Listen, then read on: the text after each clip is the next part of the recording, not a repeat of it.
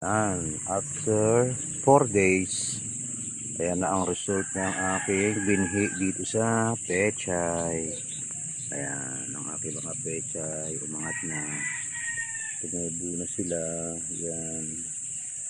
4 days. Yan na sila. Yan ang ating pechay na punla. Yan. After 4 days. Nice one. Thank you mga ka-Jess Vlog. Good morning. Then, dito naman tayo sa aking mga okra. Ayan, nag-aangatan na sila ang ating mga okra. Yan. Ito ang ating mga okra. Yan. Yan, umaangat na siya. Ating mga okra. Yan. Yun. Nag-aangatan na ang ating mga okra. And then, one. Ayan, ating mga okra, then naman tayo sa kabila, ito naman yung mga sitaw. Ayan, yan, yan, yan, yan, yan, mga sitaw, yan, yan, yan. Mga ka-Jess Vlog. Maangat na din yung ating mga sitaw. Sabay-sabay ko sila pinatubo eh. Ayan, yan ah. Ito yung ating mga sitaw, yan, yan, yan. Saka yung dalawang nahandun. Yan. Ayan oh ating mga sitaw, mga Jess Vlog. Ayan. Ayan, gaganda ng ano, gaganda ng tubo. Oh. Ayan, mga sitaw yan, mga Jess Vlog. O, diba? Tapos meron din tayong tinanim na ayan pa. Ayan yung papaya. Oh. Dito, ganda ng papaya. Oh. O, diba? Yung pa isang papaya. Oh. Yun. Pero mas maganda to. Tapos may, may kamatis din tayo dun sa kabila yung kamatis. Yan mga ka-Jess Vlog. Good morning everyone. Ito yung ating kamatis. Ang ganda. oh. Yun. Yan ang kamatis. Yan di ba? Yan o. Yung mga kamatis. Ang ganda o. Yan mga ka-Jess Vlog. Yan na naman o. Yun. Yan mga ka-Jess Vlog. Ito yung mga kamote. Yan. Yan yung mga talbos ng kamote, tapos yung papaya, yan o, may malaki-laki na rin sa kabila kasi magkakaharap lang yan. Andun yung mga bagong tanim natin, andito yung sa kabila naman yung lumang tinanim yan.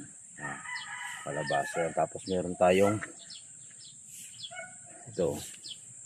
Yan, di ba? May magaganda ang tubo ng saluyot, mga ka-Jess Vlog, oh. Yun, oh.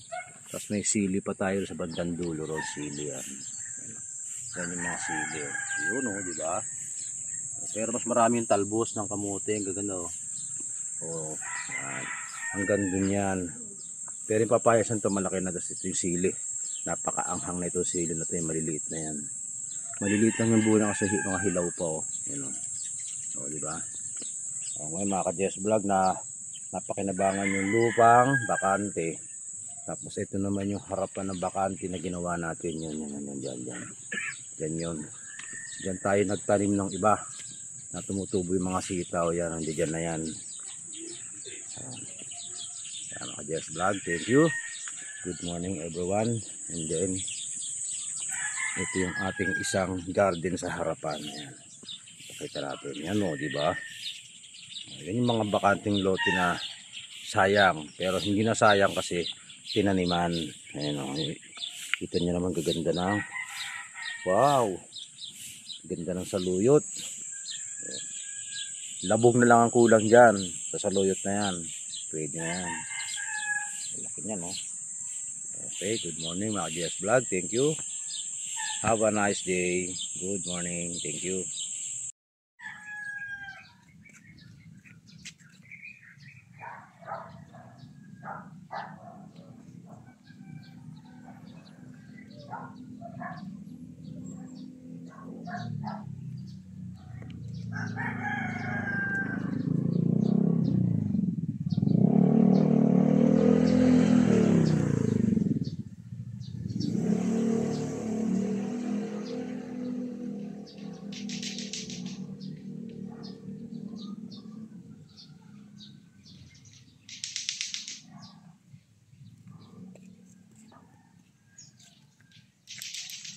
Yan yun, oh. Napakaganda ng ating mga ano ngayon.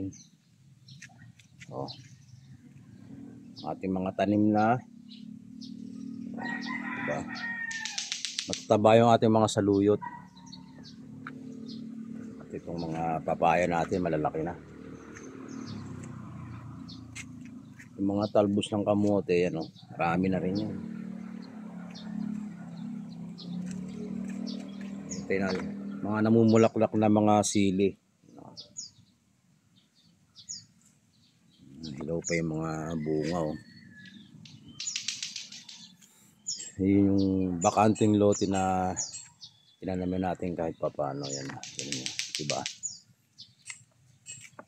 Papakinabangan. Ay, yung mga kamote. Jess Farming.